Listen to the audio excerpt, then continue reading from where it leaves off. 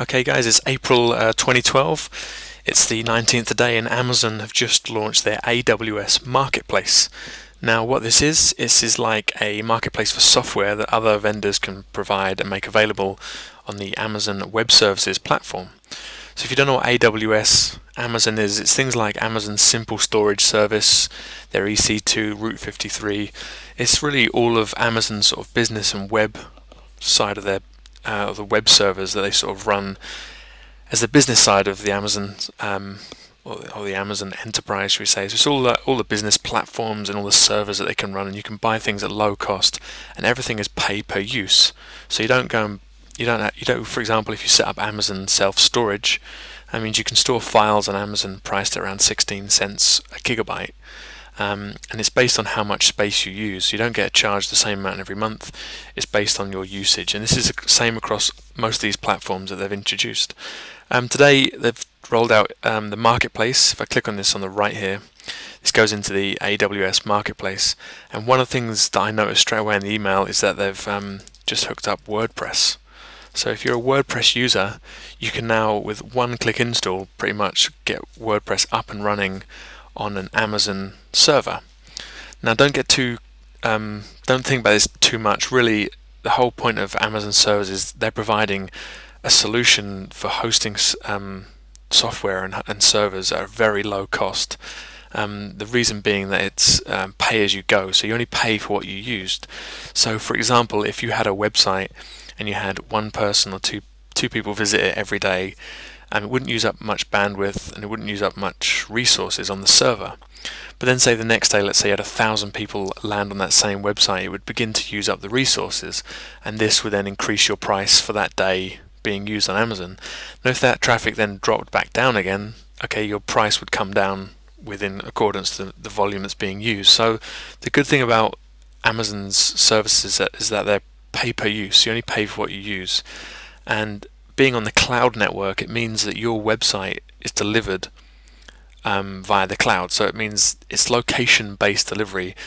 Basically, the, the when you visit the website that's on the cloud, it will be loaded from the nearest server that Amazon has to your house or wherever you're viewing the internet.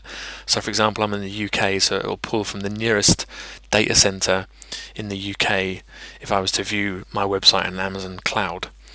But this is a great, this is a huge step actually for Amazon because it's, it's, probably you know, inevitable that we're going to roll something like this out. Um, I'll just show you. I'm going to sign into my. I'm signing into my AWS and my Amazon account. Um, let me just bring up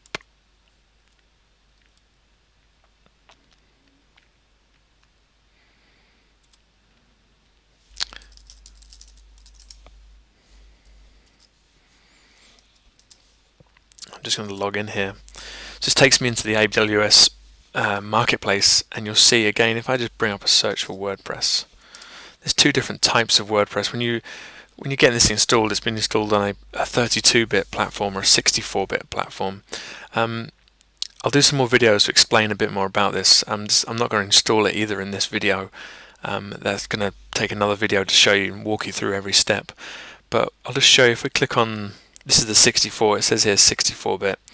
If I click on here, I can read a bit about it. It tells me how it works. It runs on Amazon EC2 and Amazon EBS. On the right here, it's got my pricing. I can click on Europe. Or yeah, we're in Europe, there, Ireland. So it gives me all the prices. So it's really this is what I'll be paying um, for usage on my or my server actually be running, and then it's based on the the price or how much usage I then use on that uh, on the server. What I would say is don't just go and install this and play around with it. Um, uh, learn learn a bit about it first. Do your research. I did not enable I enabled an EC2 network recently, and then a month later I got a forty dollar bill through from Amazon. I hadn't even gone in and checked it to see why I was being charged, and I, I just thought I was actually using a demo version. So if you do enable this, you want to check it every day and see your charges and see how you're being charged for your usage. Obviously, then compare it to your um, your own hosting platform if you use one. But this is WordPress here, and just click continue, and it's pretty much a one-click launch. Um, you can still do this manually view through the AWS console. They have a console it's a bit more technical and you can install and get this EC2 server working but this one click feature pretty much does all the hard work for you and you can have you know your your network your server up and running this is the they've given you a monthly estimate here look um, this is obviously based on 24 this is based over 30 days um, this is if the your server was running but if you're going to use it just to be running WordPress, then play around with it. Like I say, don't just go and install it because it, you know, you can do one-click install right now.